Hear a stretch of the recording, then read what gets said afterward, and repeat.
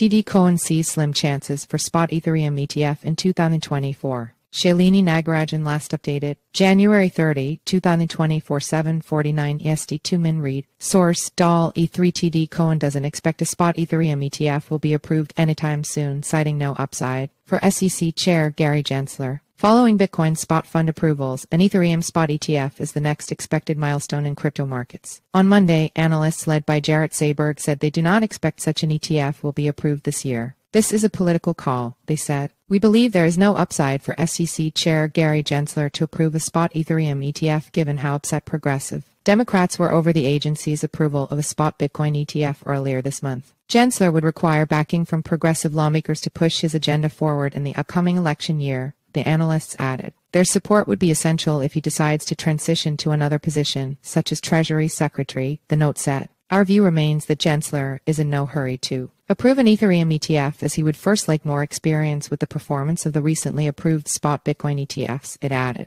They expect it might unfold over one or two years with a decision in late 2025 or early 2026. TD Cowen also pointed to Gensler's typically cautious and gradual approach to crypto regulation. In a statement following Bitcoin ETF approvals, Gensler noted that the decision doesn't reflect the Commission's views of other crypto assets. It should in no way signal the Commission's willingness to approve listing standards for crypto asset securities, the chairman said. Spot Ethereum ETFs hang in the balance. Odds for immediate approval of Ether-based spot ETF applications recently fell after the SEC's postponement of its decision on applications from Grayscale Investments and BlackRock. Their approval would offer a more convenient and regulated avenue to invest in Ether, the second largest crypto by market value. But the SEC's hesitation shows its careful approach. One major concern revolves around whether Ether should be categorized as a commodity or a security. This determination has consequences for its suitability as an underlying asset. For an ETF, most expect May approval for spot Ethereum ETFs. Seven such ETFs currently await approval.